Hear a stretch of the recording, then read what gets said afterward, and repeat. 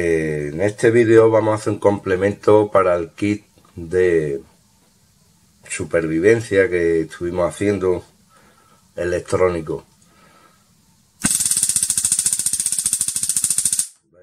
Esto también interfiere hasta en la cámara un poquito, porque es muy alto voltaje. Así que vamos a proceder a verlo.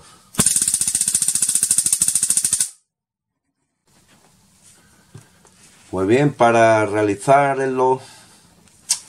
este encendedor de alto voltaje para el kit de supervivencia, partimos de este chispero, procedente probablemente de una caldera o de algún calentador de gas.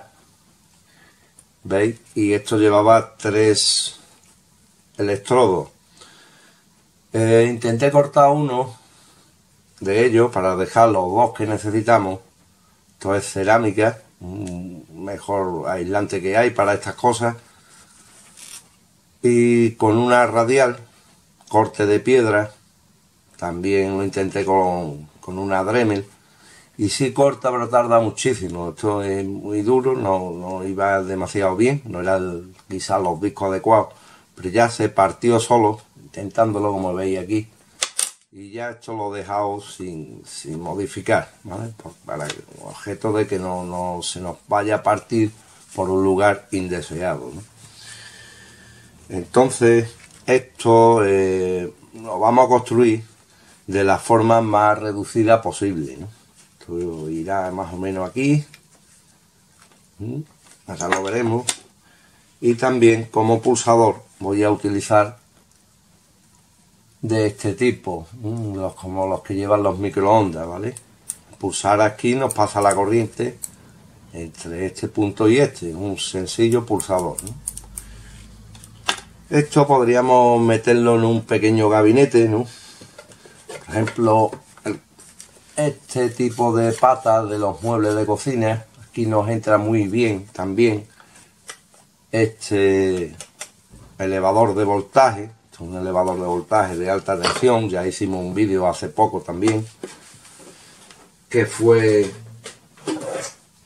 que fue este, dejaré en la, en la pantalla final por si alguien está interesado.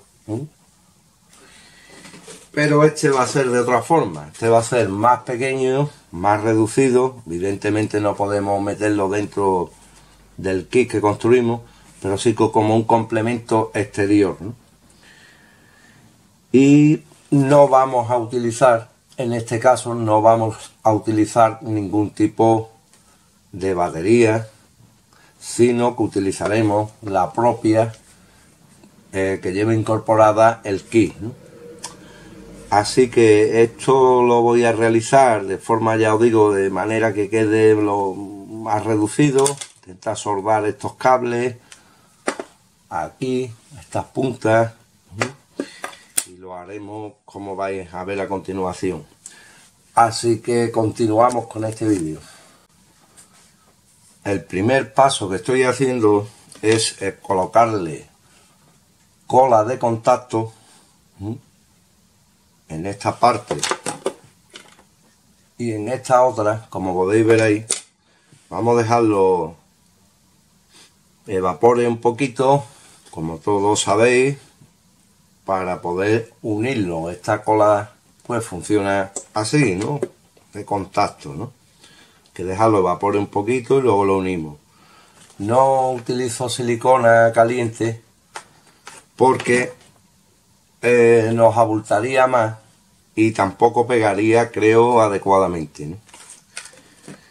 Así que ahora eh, pasaremos, una vez unido, podamos trabajar este fijo, a soldar los terminales de alta tensión, que son estos, a diferencia del rojo y el negro, que son los de los donde introduciremos el voltaje procedente de la, de la batería. Así que vamos a esperar un poquito, vamos a pegarlo y vamos a ir construyéndolo. De esta forma me va quedando. ¿Veis? Aquí le he puesto el pulsador para, cogerlo así. ¿Veis? Esto lo he pegado con también con cola de contacto, que dejarlo que se seque bien. Hasta este aislamiento lo he hecho con cola de contacto. Esto va soldado ahí. Y como quiero que sea pequeñito, que quede recogido, no lo voy a poner en un gabinete. Pero por supuesto tampoco va a quedar así. Ahora lo vemos. Y este interruptor tiene aquí los dos pulsador, tiene aquí los dos cables y vamos a interrumpir uno de estos dos cables. da igual el rojo o el negro, uno de los dos. Estoy ya aquí. En todo caso, este que pilla más lejos irá aquí, aquí soldadito. Ahí, más o menos soldadito, una cosa así irá por ahí. Y este, pues, ahora veréis dónde lo vamos a conectar esto. ¿eh? En el kit de supervivencia, sí, pero veremos otras cosas más. Así que voy a hacer eso. ¿eh? Y vais a ver cuál es la idea. Así que continuamos. Pues esto va quedando así. ¿Veis? El de aquí no sale mm, rojo y negro. Muy facilito, ¿veis? El rojo me entra aquí, en la parte del pulsador, y en la salida del pulsador, esto no tiene ni entrada ni salida, da igual en uno que en otro, ¿vale? Pero para entendernos, le soldado otro cablecito rojo para que no haya confusión después con la polaridad. Y esto, pues lo vamos a poner aquí de aislamiento. ¿Veis? Y así va. Ahora aquí, pues le vamos a colocar la alimentación. Vamos a ponérselo el cable que va a ir aquí en la alimentación. Vamos a ver cómo lo sujetamos y vamos viendo. Pues vamos a ello. En esta parte de este pequeño proyecto, pues veis, he soldado aquí un cable, positivo y su negativo. Le vamos a poner termo retráctil. Irá mejor aislado, pero de momento esto. ¿Mm? Ahora esto vamos a ver cómo sujetarlo aquí. Digamos, el secreto de esto va a ser que el cable tenemos una entrada de voltaje USB de 5 voltios para que esto funcione. Secreto por decirlo de alguna manera. La idea. Y entonces ahora esto lo vamos a, reforzar aquí. Ahora sí es posible que, que utilice la pistola de silicona y mejores productos, masilla de poliuretano, por ejemplo, sería lo adecuado eso es muy fuerte, pero no dispongo en estos momentos, sobre todo para evitar tironazos aquí, ¿no? Y la manipulación que no nos no nos estropee el pequeño proyecto este, ¿no? Así que voy a hacer eso. Le vamos a dar un aislamiento un externo para tapar eh, todo este feo, etcétera. Vamos a ver cómo va quedando y vamos viéndolo poco a poco. Continuamos. Bien, como a muchos de los, de los que ven o pocos de los que ven mi canal eh, les gusta también, me dijeron hace tiempo que no haga las cosas tan rápido, que vaya mostrando más paso a paso. Pues bien, a pesar de su sencillez, vamos a ir tiene un poquito. Cogido esta piececita he hecho dos cortes para que me entre el USB por aquí.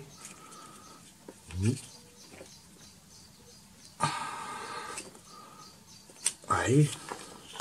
Le vamos a reforzar esto porque le he estado dando con la pistola de silicona y le iba a hacer poquito a poco en caliente soplándole una especie de, de cono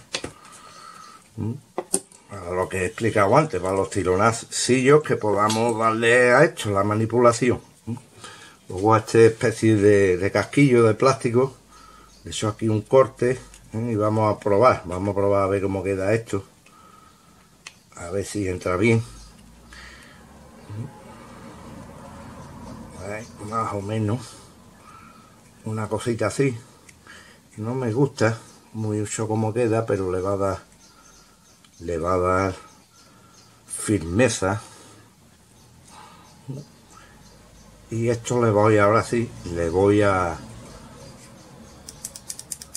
le voy a echar este tipo de, silicona vale o cola caliente como le llaman en otros lugares ¿Mm? y después vamos a reforzar con cinta de esta ¿Mm? estética me gusta a mí cuidarla en los proyectos no no es habitual que yo realice estas cosas así pero tampoco va a quedar tan mal. Y sobre todo es por darle firmeza a esto. Bien pues vamos a continuar. Pues de esta forma ha quedado, ¿veis? Aquí ha quedado el pulsador con su cable aquí vamos a hacer unas pruebas. Pero antes de hacerlas veis por si alguien replica esto y quiere que estéticamente quede un, un poquito mejor esta goma yo creo que más o menos todo el mundo sabe lo que es, ¿no? Bien, pues podemos utilizar cinta americana del color que, queramos y envolverla viéndole un pequeño agujerito para, para el pulsador, ¿no? Y quedaría en vez de en capas más uniforme, ¿no? Como dije antes, el motivo de no ponerlo en un gabinete, en una cajita, es por cuestión de tamaño. Porque, por ejemplo, podemos coger cualquier tipo de, de neceser, de esto como se llame, ¿vale? Y aquí guardamos el, el kit de supervivencia y nos cabrán pues complementos que podamos ir colocando en el interior como es el caso de este encendedor, que es para lo que yo lo voy a utilizar, para encender fuego, ahora veremos. Ah, ¿Qué podría valer para defensa personal, como otro que hicimos? Pues tal vez, que hay que tener mucho cuidado cuando saquemos un arma del tipo que sea, ¿no? Que, que, puede ser que se ponga en nuestra contra, ¿eh? cualquier tipo de arma que usemos puede ser que se ponga en nuestra contra. Por lo que motivos que muchos, ¿no? Bien, dejando ese tema aparte, porque esto más bien es para encendedor, como complemento a este kit,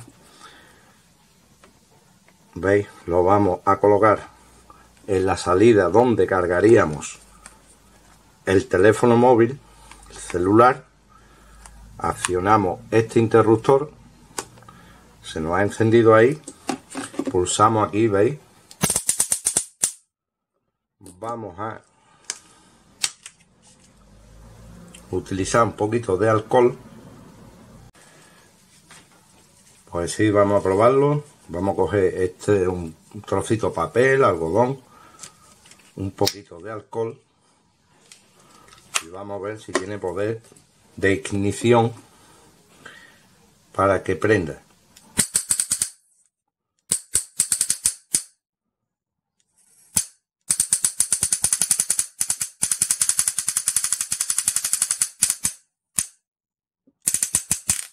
Ahí. Según lugar donde le demos. Como podéis ver, pues sí. Y también quería decir que si queremos más potencia, bueno, quiero decir otra cosa también, pero vamos por partes, que si queremos más potencia podemos utilizar el que disponga de una power bank, esto nos va a producir aún más que esta batería que tenemos ahí en el interior, porque dispone de más reserva y más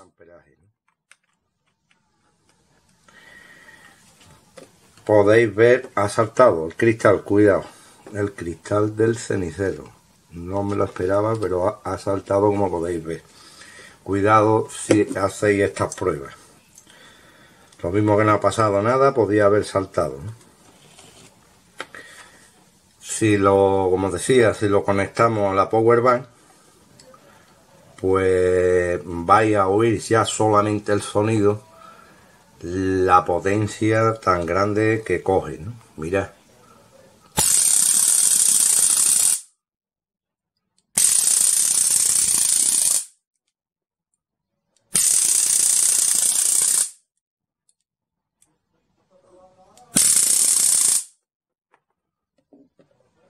Así que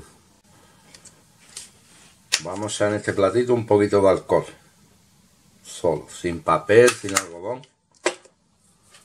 Vamos a ver si enciende. Pero para ello lo vamos a poner esta vez en la power bank. ¿Mm? Ahí está conectado aquí. Que da más, más potencia. Vamos a accionar el pulsador. Lo vamos a acercar aquí a ver. la primera encendido, ¿eh? Para que veáis. Bien. Esto es otra forma, si no queréis replicarlo y no disponéis de un kit de esto, que o sea, no disponéis, esto no lo venden hecho, que querráis construir uno, pues con una power bank es otra opción para poder utilizar este tipo de, encendedor y la otra cosa que quería decir que para hornillas de gas que no dispongan de piezo eléctrico o tengáis que llevar celilla, un encendedor y ya que tengáis esto como complemento pues, pues se puede utilizar perfectamente para encender hornillas de gas y habrá que hacer pruebas eso ya será en otro vídeo con distintas aplicaciones que podemos prácticas utilizar este tipo de, encendedores. Habría que probar si puede encender pastillas de, de estas para encender barbacoa, cómo enciende el gas, etcétera, etcétera, etcétera. Bueno, pues yo creo que este vídeo ha concluido, ha llegado a su fin, espero que os, os haya gustado o al menos entretenido, como digo otras veces. Y lo dicho, esto ya pues el kit este pues es posible que complemente con más cosas como dije en otros vídeos, esta es una de ellas. Y sin más amigos, nos vemos en el siguiente vídeo. Hasta pronto.